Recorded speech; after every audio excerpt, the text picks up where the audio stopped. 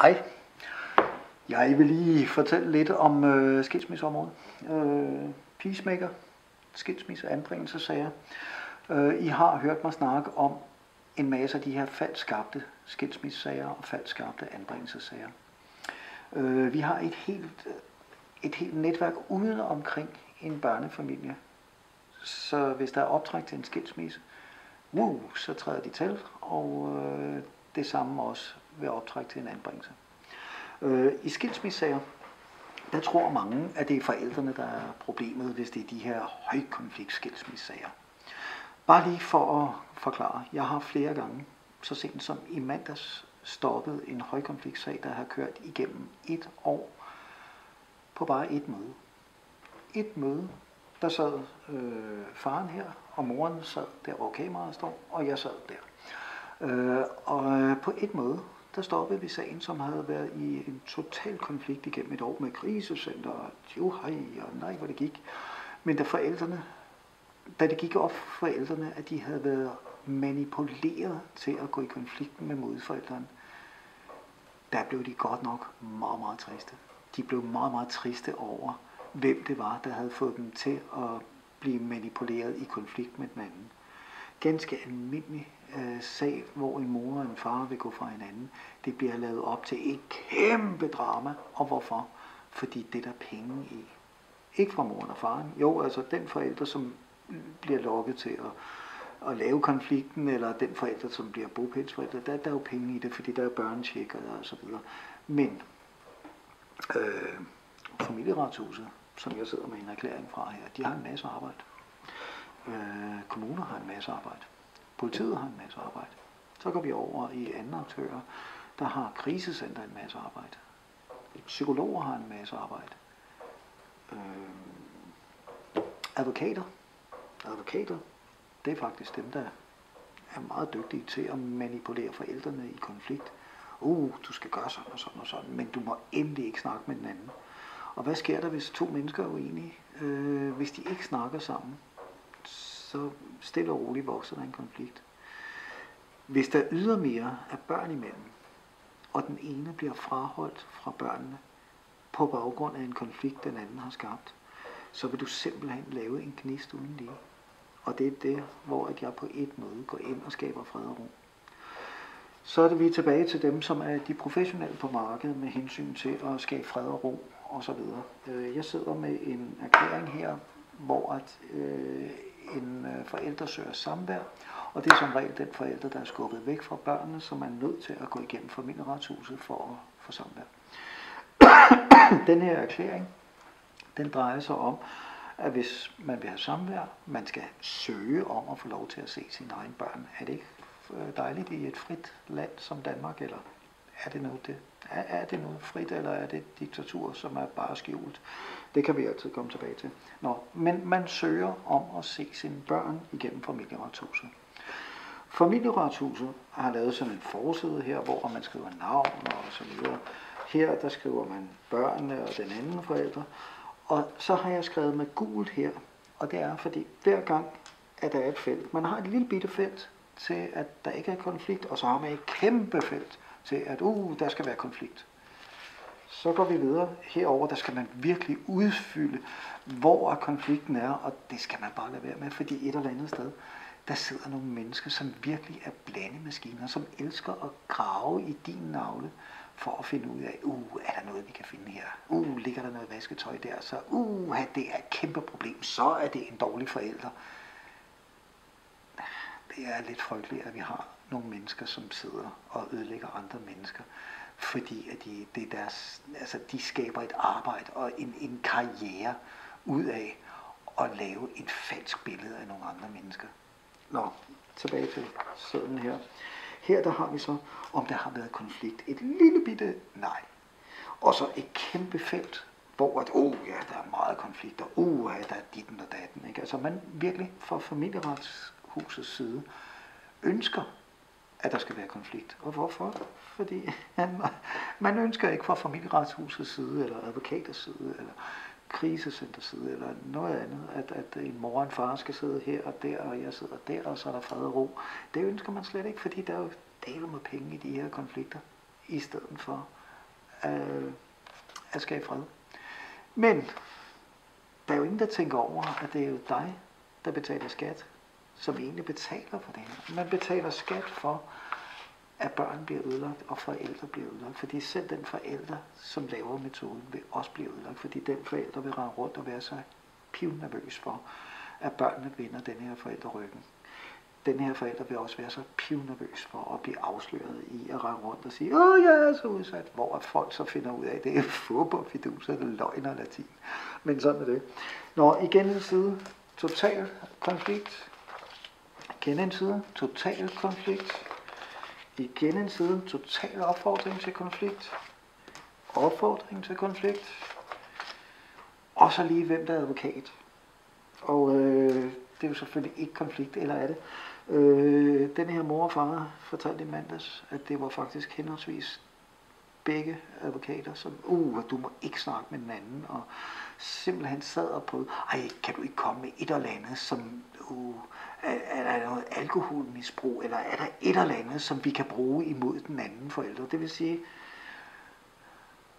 at dem du egentlig søger, når du står i en sag omkring dine børn, meget, meget følsom, meget, meget sårbar, så søger du nogle mennesker, som simpelthen prøver at skabe en kæmpe drama øh, for at tjene penge. Jo mere drama, jo længere tid kan de holde sagen i gang.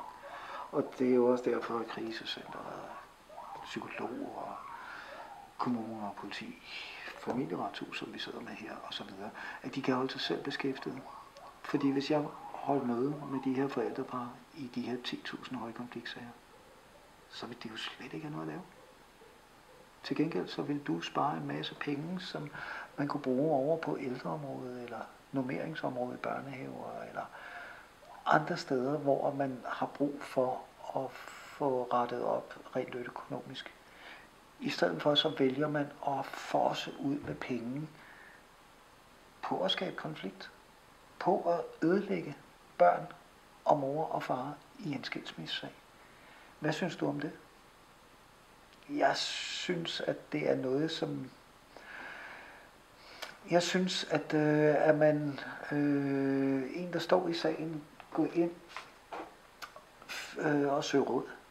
Det er det vigtigste, fordi at, at øh, de her typer, der vil alle prøve at, at få forældrene til at lave en fejltrin, fordi så bruger de fejltrinet til at uh, lave et problem, eller også køre det videre ud i en anbringelsessag. Det sker desværre også i rigtig, rigtig mange af de her højkonfliktskilsmissager. Fordi altså et krisecenter, øh, de er dygtige til at se, hvis en mor eller en far sidder inde på et krisecenter med børnene, og så at, at, øh, at de holder øh, barnet forkert. Øh, ganske almindelig forældre, øh, en øh, forældremåde at være på. Det kan sådan nogle medarbejdere få til at blive til et kæmpe problem fordi at jeg tror, de øh, har set for mange øh, fiktionsfilm eller eller øh, film omkring øh, fantasifulde øh, øh, dramaer. Øh, de er i hvert fald dygtige til det. Nå, øh, det kan også være, at du er journalist eller arbejder inden for pressen. Som sagt, det her forældrepar i mandags, de vil rigtig gerne hjælpe andre forældrepar, sådan så at folk ikke bliver manipuleret til at ødelægge deres egne børn. Øh, Øh, så derfor vil de gerne ud og, og stå frem med deres historie om, hvem der ødelægger øh, børn i Danmark. Øh, du er også velkommen til som journalist at kontakte, fordi at jeg har selv gravet i det igennem øh, mange år. Jeg ved lige præcis, hvor man skal tage kost og, og, og skovl frem og begynde at grave. Hvis du sidder inde på Christiansborg og meget gerne vil vide noget om, om det her, hvis du vil vide, hvordan du sparer en masse penge på børneområdet, men også hæver livskvaliteten og nedbringer antallet af børn, der bliver ødelagt, af forældre, der bliver ødelagt, sådan så de mister øh, arbejdsevnen, så de ryger i psykiatrien osv. Eller børn, øh, der bliver så traumatiseret, så de udvikler angst og traumer for pigernes vedkommende, eller øh, udadreagerende adfærd øh, for drengenes vedkommende. Det som folk kalder ADHD eller et eller andet den stil. Altså det er jo fodboldsvimmen. Men øh, en udadreagerende adfærd for drengebørn, det vil, med, det vil mange anse som værende en eller anden bogstavkombination, fordi så er der jo også penge i det over i psykiatrien. Men altså, skal vi ikke få ryddet op i alt det her? Fordi jeg vil meget gerne gå ind og hjælpe jer. Jeg ved, hvor det er fejl, der ligger. Jeg synes, I skal have en rigtig god dag derude. Hej. Hej. Jeg vil lige fortælle lidt om øh, skilsmisseområdet. Øh, peacemaker, skilsmisse, anbringelsessager. Øh, I har hørt mig snakke om en masse af de her faldskabte skilsmissesager og faldskabte anbringelsessager. Øh, vi har et helt, et helt netværk uden omkring en børnefamilie. Så hvis der er optræk til en skilsmisse, wow, så træder de til, og øh, det samme også ved optræk til en anbringelse. Øh, I skilsmissesager, der tror mange, at det er forældrene, der er problemet, hvis det er de her højkonflikt-skilsmissesager. Bare lige for at forklare. Jeg har flere gange, så sent som i mandags, stoppet en højkonfliktsag, der har kørt igennem et år på bare et møde. Et møde, der sad øh, faren her, og moren sad der, hvor kameraet står, og jeg sad der. Øh, og øh, på et møde, der stoppede vi sagen, som havde været i en total konflikt igennem et år med krisecenter, og hej, og nej, hvor det gik. Men da forældrene, da det gik op for forældrene, at de havde været manipuleret til at gå i konflikt med modforældrene, der blev de godt nok meget, meget triste. De blev meget, meget triste over, hvem det var, der havde fået dem til at blive manipuleret i konflikt med den anden. Ganske almindelig øh, sag, hvor en mor og en far vil gå fra hinanden. Det bliver lavet op til et kæmpe drama. Og hvorfor? Fordi det er der penge i. Ikke fra moren og faren. Jo, altså den forælder, som bliver lokket til at, at lave konflikten, eller den forælder, som bliver bogpælsforælder, der, der er jo penge i det, fordi der er børnetjekker og så videre. Men øh, familieretshuset, som jeg sidder med en erklæring fra her, de har en masse arbejde. Øh, kommuner har en masse arbejde. Politiet har en masse arbejde. Så går vi over i andre aktører, der har krisecenter en masse arbejde. Psykologer har en masse arbejde. Øh, advokater. Advokater, det er faktisk dem, der er meget dygtige til at manipulere forældrene i konflikt. Uh, du skal gøre sådan og sådan og sådan, men du må endelig ikke snakke med den anden. Og hvad sker der, hvis to mennesker er uenige? Øh, hvis de ikke snakker sammen, så stille og roligt vokser der en konflikt. Hvis der ydermere er børn imellem, og den ene bliver fraholdt fra børnene på baggrund af en konflikt, den anden har skabt, så vil du simpelthen lave en gnist uden lige. Og det er det, hvor at jeg på et måde går ind og skaber fred og ro. Så er det vi tilbage til dem, som er de professionelle på markedet med hensyn til at skabe fred og ro og så videre. Øh, jeg sidder med en erklæring her, hvor at, øh, en øh, forælder søger samvær, og det er som regel den forælder, der er skubbet væk fra børnene, som er nødt til at gå igennem familieretshuset for at få samvær. den her erklæring, den drejer sig om, at hvis man vil have samvær, man skal søge om at få lov til at se sine egne børn. Er det ikke øh, dejligt i et frit land som Danmark, eller er det noget, det, er, er det noget frit, eller er det diktatur, som er bare skjult? Det kan vi altid komme tilbage til. Nå, men man søger om at se sine børn igennem familieretshuset. Familieretshuset har lavet sådan en forside her, hvor man skriver navn og så videre. Her der skriver man børnene og den anden forældre. Og så har jeg skrevet med gult her, og det er fordi hver gang, at der er et felt. Man har et lille bitte felt til, at der ikke er konflikt, og så har man et kæmpe felt til, at uh, der skal være konflikt. Så går vi videre. Herover der skal man virkelig udfylde, hvor konflikten er, og det skal man bare lade være med, fordi et eller andet sted, der sidder nogle mennesker, som virkelig er blandemaskiner, som elsker at grave i din navle for at finde ud af, uh, er der noget, vi kan finde her? Uh, ligger der noget vasketøj der? Så uh, det er et kæmpe problem. Så er det en dårlig forælder.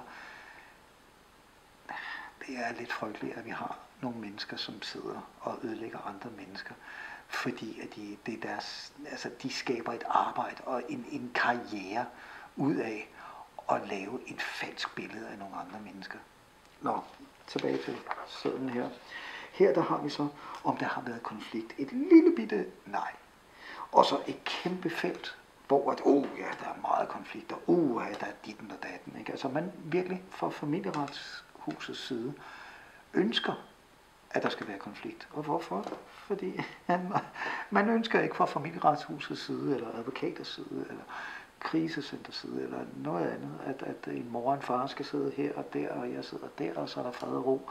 Det ønsker man slet ikke, fordi der er jo daler med penge i de her konflikter, i stedet for øh, at skabe fred.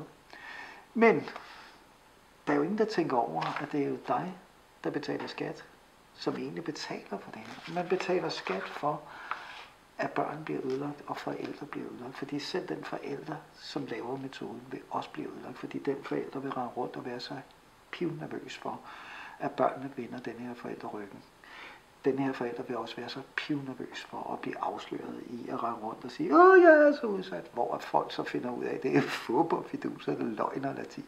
Men sådan er det. Når igen en side, total konflikt. Igen en side, total konflikt. Igen en side, total opfordring til konflikt. Opfordring til konflikt. Og så lige, hvem der er advokat. Og øh, det er jo selvfølgelig ikke konflikt, eller er det? Øh, den her mor og far fortalte i mandags, at det var faktisk henholdsvis begge advokater, som, uh, du må ikke snakke med den anden, og simpelthen sad og prøvede, ej, kan du ikke komme med et eller andet, som, uh, er, er der noget alkoholmisbrug, eller er der et eller andet, som vi kan bruge imod den anden forælder? Det vil sige, at dem du egentlig søger, når du står i en sag omkring dine børn, meget, meget følsom, meget, meget sårbar, så søger du nogle mennesker, som simpelthen prøver at skabe en kæmpe drama øh, for at tjene penge. Jo mere drama, jo længere tid kan de holde sagen i gang. Og det er jo også derfor, at krisecenteret, psykologer, kommuner, politi, familieretshus, som vi sidder med her, og så videre, at de kan holde sig selv beskæftiget. Fordi hvis jeg holdt møde med de her forældrepar i de her 10.000 højkonfliktsager, så vil det jo slet ikke have noget at lave. Til gengæld så vil du spare en masse penge, som man kunne bruge over på ældreområdet, eller normeringsområde i børnehaver, eller andre steder, hvor man har brug for at få rettet op rent økonomisk.